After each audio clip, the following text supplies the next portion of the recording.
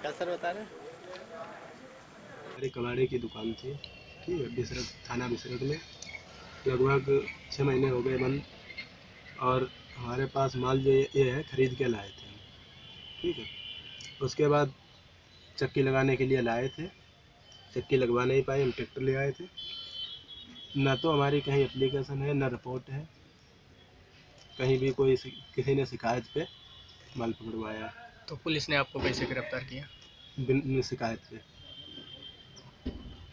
ये इंद्रेश नाम का व्यक्ति थाना हरपालपुर की पुलिस ने आज गिरफ़्तार किया है जिसके कब्जे से 19 सोलर प्लेट्स बरामद हुई हैं जिनकी वैल्यू लगभग दो लाख पचासी हज़ार रुपये है और ये चोरी की प्लेटें हैं। और इसके विषय में दो मुकदमे ऑलरेडी लिखे हुए हैं, बेनीगंज में और बेहटा गोकुल में।